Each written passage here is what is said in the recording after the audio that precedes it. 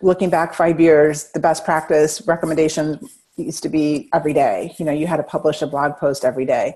So today it's not quantity, it's it's more quality. So I would say invest in that awesome piece of content, you know, even if it, that awesome piece of content comes a couple times a month versus worrying about I have to publish something every day.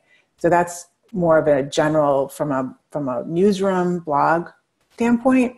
Um, on social, it really depends on the network. So you know, publishing at least weekly, but if you can publish more often than once a week, that's better.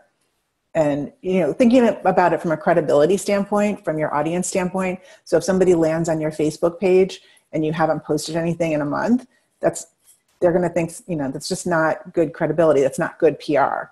So looking at your Facebook page as an extension of your newsroom, I'm sorry, an extension of your website, that you want to make sure that you're updating it at least weekly so that from a credibility standpoint that's it's, it's it's a checkpoint today for your for users will go on a facebook page to see how legitimate a company or brand is.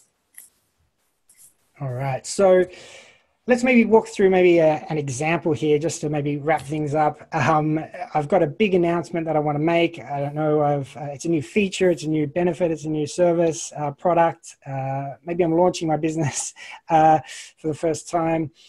What's the best way to you know maximize uh, the distribution amplify uh, the brand? So we're you know reaching our audience. I mean our goal is here reaching our audience uh, getting some great search benefits from that and obviously you know journalists and, and media too so number one is make sure that you have awesome visual assets. That could, those could be images. If you can do video, even better. Making sure that those images are you know optimized even as down down to the detail of the file names. Have you know keywords, the appropriate keywords in them. Um, making sure that when you do a press release, that for example your or, your or a blog post, that you're you're going through the steps that you would for a website optimization. The meta meta tag, the the title, the, the description, your headline, your keywords are sprinkled throughout the, the press release, not necessarily linked in the paid one, um, but you know you're optimizing the press release just like you would um, best practices for a web website.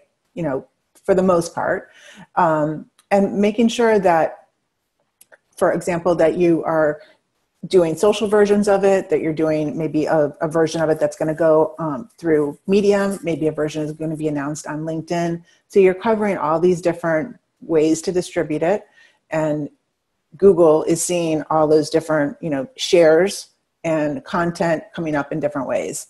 So, and besides Google, your audience is too. So those things working together are going to increase your exposure, increase your reach, and give you better public relations in the long run.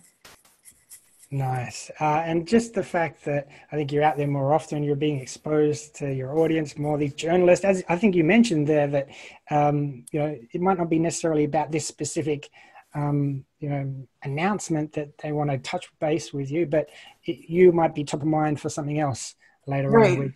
yeah, yeah, and and I think one other tip, if we have time for it, is to yeah. watch for that trending news. So being a part of, let's say, you know, your maybe it's your your industry is having a big conference. So looking at what what is that hashtag and optimizing with that hashtag, or or maybe reaching out to the journalists that are going to be at that industry conference and letting them know that it, you know, if you they need to talk to somebody that you're available. So you're you're doing all these things ahead of time and not just waiting to be uh, to react. You're doing things proactively.